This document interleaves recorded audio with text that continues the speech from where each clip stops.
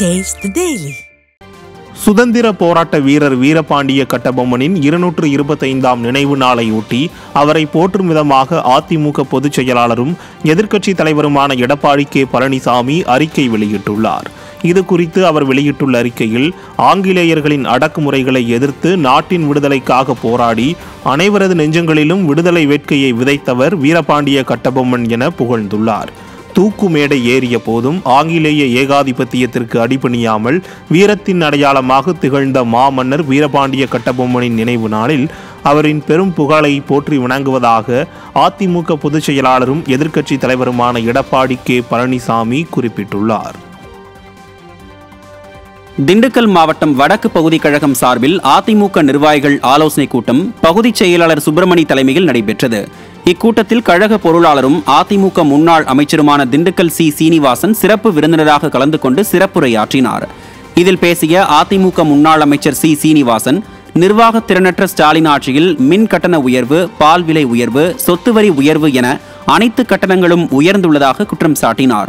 மேலும் திறனற்ற திமுக அரசு ஆட்சிக்கு வந்த மூன்று வருடங்களுக்கு பிறகே மகளிர் உரிமைத் தொகை வழங்கியதாகவும் குற்றம் சாட்டினார்.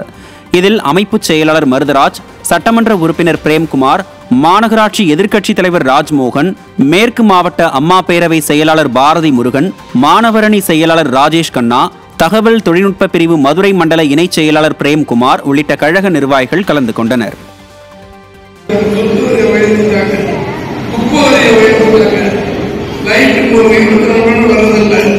அப்படி டிவி ஆஃப் டிவி ரிப்பேர் அறுபதாயிரம் கேட்குறாங்க இந்த ஆட்சியில் ஆயிரம் ரூபாய் தரேன்னு சொன்னாங்க. எப்போ ஆட்சிக்கு வந்த உடனே பாதி பேருக்கு தான் கொடுத்துருக்காங்க. இன்னும் பாதி பேருக்கு கொடுக்கல. அதை எப்போ கொடுப்பேன்னாக்க கொடுப்போம் அப்படின்னு சொல்றாங்க. மூன்றரை மாதம் மூன்று வருஷம் கழித்து எடப்பாடியார் சொன்னதுக்கு பிறகு ஆட்சி கொடுத்தாங்க. சென்னை வடபழனியில் உள்ள பிரான் தெருவில் ஒரு நாள் மழைக்கே சாலைகளில் தண்ணீர் வெள்ளம் போல் தேங்கி நிற்கிறது. இதனால் மக்கள் வீட்டை விட்டு வெளியே வர முடியாத நிலைக்கு தள்ளப்பட்டுள்ளனர். ஸ்டாலின் அரசு மழைநீர் வடிகால் பணிகளை முன்பே முடிக்காததால் தற்போது பெரும் சிரமத்திற்கு ஆளாகி தவிப்பதாக அப்பகுதி மக்கள் வேதனை தெரிவித்துள்ளனர். மேலும் மழைநீரை உடனடியாக அகற்ற வேண்டும் என அரசுக்கு அவர்கள் கோரிக்கை விடுத்துள்ளனர். இன்னும் சின்ன பிள்ளைங்க போகிறாங்க பெரியவங்க போகிறாங்க எத்தனையோ பேர் கவுந்துடுறாங்க நான் எதுவும் பண்ணிடுறாங்க. ஆனால் இது நடவடிக்கை ஆனால் ஓட்டு கேட்க மட்டும் ஊருக்கு முன்ன வந்துடுறாங்க இந்த பக்கம். ஓட்டு மட்டும் கேட்குறாங்க.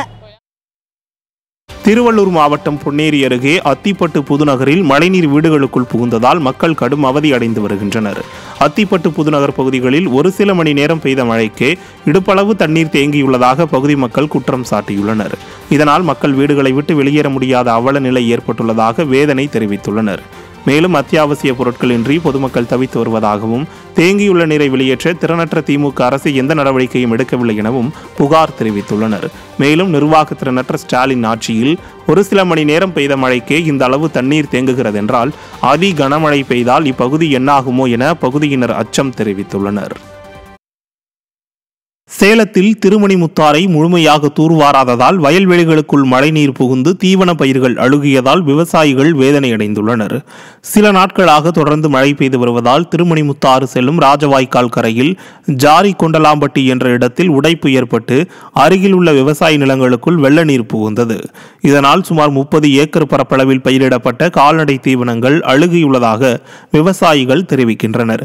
கால்நடைகளை காப்பாற்ற அதிக தொகை கொடுத்து தீவனங்களை வாங்க வேண்டிய நிலைக்கு தள்ளப்பட்டுள்ளதாக கவலை அடைந்துள்ளனர் இந்த நிலையில் வயல்வெளிகளில் தேங்கியுள்ள வெள்ள நீரை வெளியேற்ற நடவடிக்கை எடுக்குமாறும் அழுகிய தீவன பயிர்களுக்கு ஏக்கருக்கு நாற்பதாயிரம் ரூபாய் இழப்பீடு வழங்குமாறும் மாவட்ட ஆட்சியர் பிருந்தாதேவியிடம் விவசாயிகள் கோரிக்கை மனு அளித்துள்ளனர். நிர்வாகத்திறனற்ற ஸ்டாலின் குடிமராமத்து திட்டத்தை கிடப்பில் போட்டதுதான் இந்த அவலத்திற்கு காரணம் என விவசாயிகள் குற்றம் சாட்டுகின்றனர். ராஜவாய்க்கால் கரை வந்து பட்டரப்பிள்ளைப்பாண்டம் ஜாரி கொண்டலாம்பட்டி வயக்காடு பாசன பகுதிக்கு போகிற வாய்க்கால் வந்து உடஞ்சி இன்றைக்கி தண்ணி முழுமையாக வந்துமே வந்து பாசன வயலில் தான் தேங்கி இருக்குது. கால்நடைக்கு இருக்கிற தீவனங்கள் முழுமையாக வந்து அழுகி போயிடுச்சு இன்றைக்கி வந்து மா கால்நடைகள் தீவனங்கள் அழுகிச்சுன்னா திருப்பி வந்து தண்ணி நாளைக்கே வத்தினாலும் மீண்டும் கால்நடை தீவனம் வரத்துக்கு நாலு மாதம் ஆகும். எங்களுக்கு ஏக்கராக்கு நாற்பதாயிரம் இழப்பீடு வழங்கணும். முப்பது ஏக்கராக்கு மேலே வந்து தண்ணி தேங்கி நிற்கிது உடனே வந்து அரசு பார்வை விட்டு எங்களுக்கு இழப்பீடு வழங்க நடவடிக்கை எடுக்கணும். வேளச்சேரி ஏஜிஎஸ் காலனியில் குடியிருப்புகளுக்குள் மழைநீர் புகுந்ததால் மக்கள் வீடுகளை விட்டு வெளியேறி வருகின்றனர். சென்னை வேளச்சேரி ஏஜிஎஸ் காலனியில் உள்ள பத்துக்கும் மேற்பட்ட தெருக்களில் முழுவதும் வெள்ள நீர் சூழ்ந்து முழங்கால் வரை மழைநீர் தேங்கியுள்ளது. சிறிய மழைக்கே தண்ணீர் தேங்கி நிற்பதால் பொதுமக்கள் அச்சத்தில் உறைந்துள்ளனர். ஆமை வேகத்தில் நடக்கும் மழைநீர் வடிகால் பணிகள் குறித்த எச்சரித்த போதெல்லாம் எங்கே தண்ணீர் தேங்குகிறது எங்கும் தேங்கவில்லை என வீரவசனம் பேசி வந்த நிர்வாகத்திறனற்ற ஸ்டாலின் அரசு இப்போது படகுகளை வைத்து படம் காட்டிக் கொண்டிருக்கிறது. நிர்வாகத்திறனற்ற ஸ்டாலின் அரசால் எந்த பிரயோஜனமும் இல்லை என மக்கள் வேதனை தெரிவிக்கின்றனர்.